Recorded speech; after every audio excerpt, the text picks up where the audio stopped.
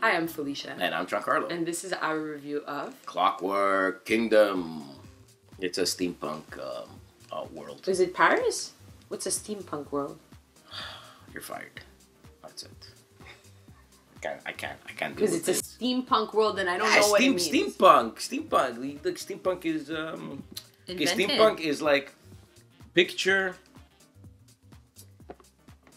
Picture world uh, industrial revolution Okay. And and everything is steampunked, but you also have magic introduced into it. Okay. Uh, so instead of like fantasy, So, like, I'm an idiot for not knowing that. yeah.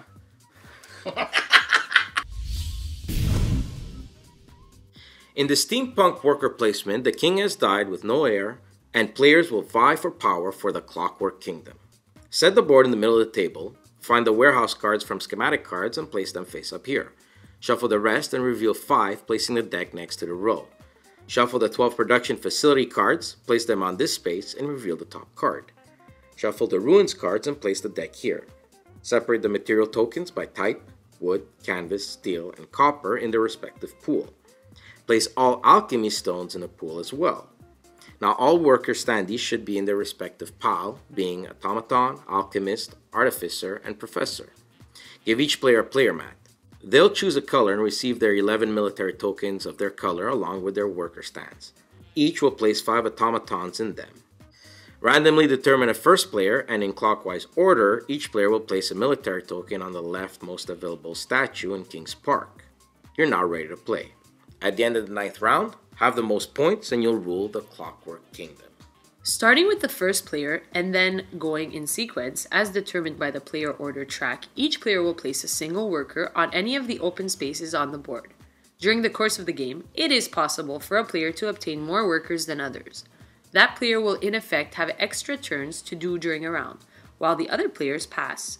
There are 8 areas on the board, going from 1 to 8. Some areas are open spaces, meaning any number of workers can be on these areas.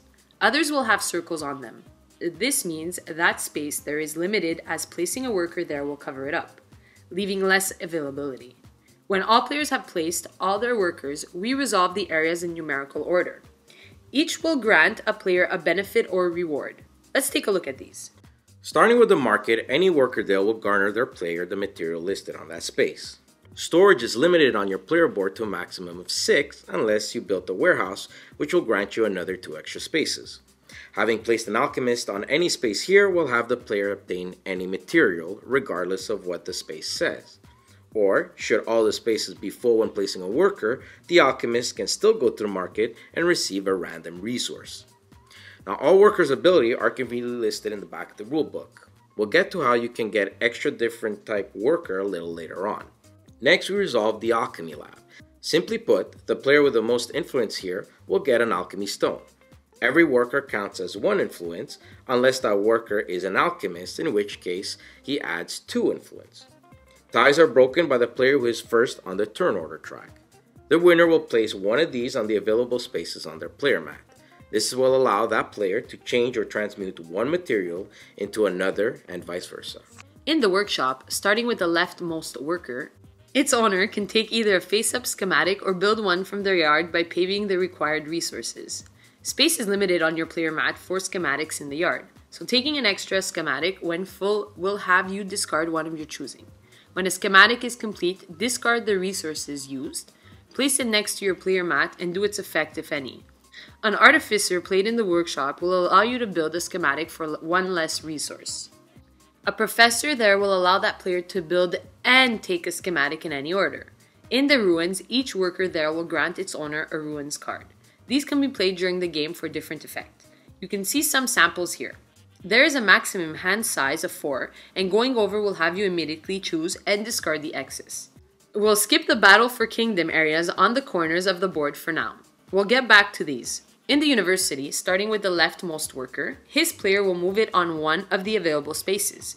He'll then take a worker of the appropriate type as listed and place it on his colored base and in his worker pool area on his player mat. A professor placed onto a space here will grant that player any worker of his choosing. Now, the factory works the same way as the Alchemist Lab, except the player with the most influence here will win the top face up production facility card. These will supply the player at the end of every round with that material. flip over the next card for the next round.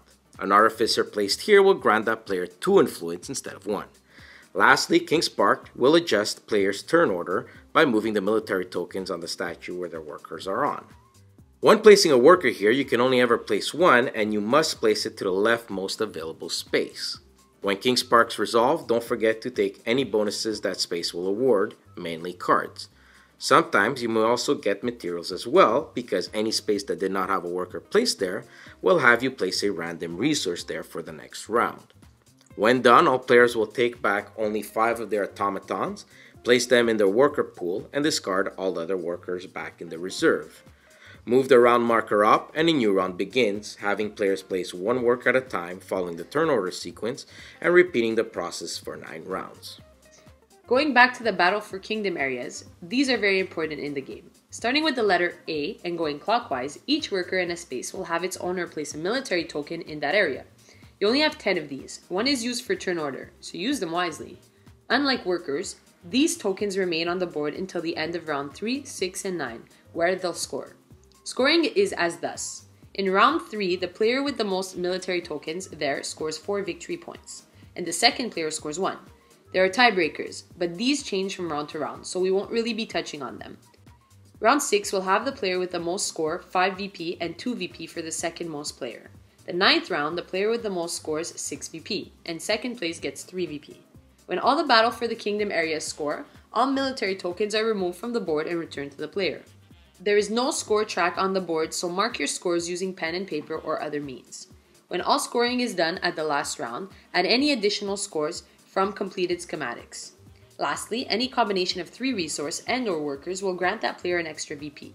The player with the most wins. Clockwork Kingdom does a fine job of incorporating its theme in the game through its mechanics. The way every areas are numbered and the importance of this makes sense in a game with the word clockwork in it. But as well as it does this through its mechanics, I feel the artwork and color blindness of it mutes this aspect. To the artist's credit, I don't think it's the artwork that's bad, I just don't think his style is appropriate. And why so bland with the colors? Maybe it's something I don't get, so half a point penalty only. Besides the artwork, a huge con is actually design. And by this I mean the fact that they went with tokens instead of cubes. And no scoring track on the board? You should have seen our faces when the first scoring round came along and we realized there was no score track. Our jaws dropped. I mean, really? To me, in this day and age, a game like this with no scoring track is equivalent to a cellular phone shop trying to sell you a rotary phone. Wow, like huge no no.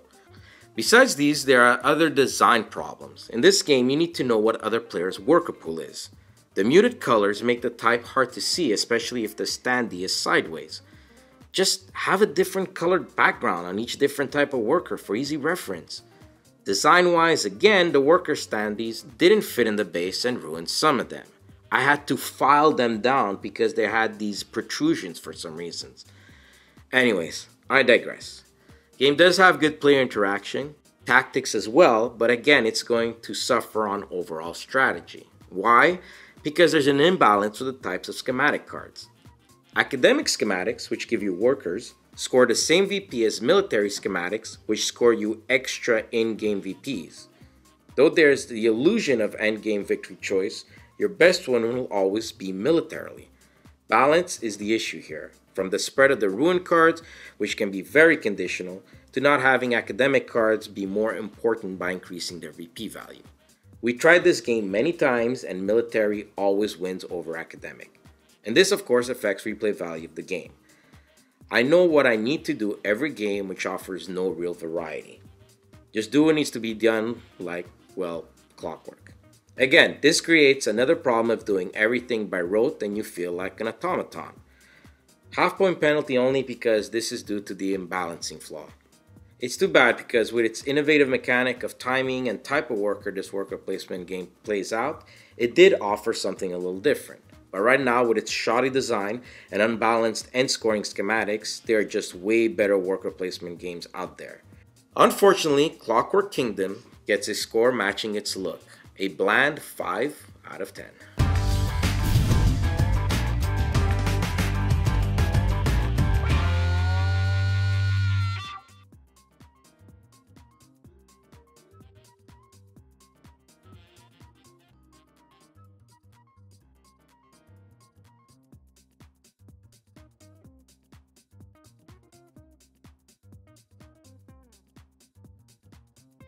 Which is ironic because I gotta be at work in 25 minutes. So, You're never gonna make it. I'm never gonna make it at all. Chez Geeks will be closed today. Because we're gonna hours. smoke weed all day. we'll be in the park across the Yeah, street. Yeah, I love how you have a jingle for it. Cause we're gonna smoke weed all day. We'll be in the park across the street from Chez Geeks with games. so that's where our game. You know, it's funny. James actually James Does that? No, no. Oh. He's like, hey, dude, what does Justin Trudeau want to do? He wants to legalize pot. What do we make? A spot smoking cafe. I'm like, dude, Why do you not? really want? Cause I don't want to fucking explain game board rules to people that are high. You know? Guys, like, I swear, duh. if this is a possibility, I'm coming into business with, you guys. Yeah? Absolutely, I'll take care of like that It's side to of the it, first spot. So I'm wondering if there's something like that in um, in Colorado. Or even Amsterdam. No, Oh yeah, but I'm not moving to Amsterdam. I know, I know, but I'm saying uh, just out of curiosity to see Oh, if, if it exists, board a board games. game I cafe. know. I you know, you you know honestly, I good. I don't think I don't. This has everything to do with the game. Of by course the way, it Clockwork does. Kingdom. Yeah, because Uh, I don't. I don't think like if you're smoking up, you you really want to play a board game. Like your attention span is. You know what I mean? no. Yeah, Well, maybe party games. that's what I'm. Yeah, if you're like, like, you- I like you. You wouldn't be able to play like this game.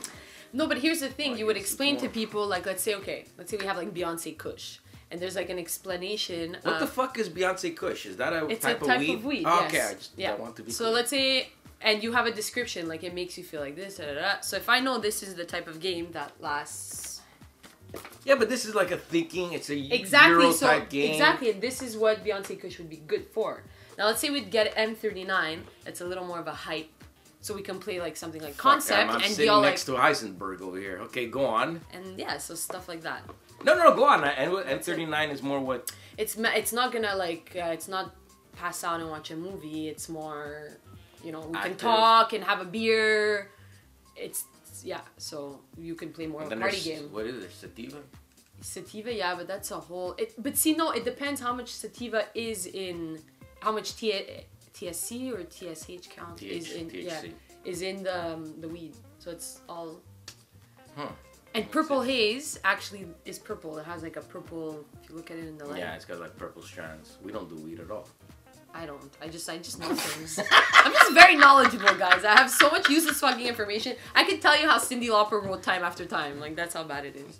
What, what do you mean? Is that uh, based on weed? No, but I'm just saying. Oh, like, okay. how much well, you, you know, you know what Billy Idol's White Wedding is about, right? No, Are you serious? no, tell me. White Wedding is about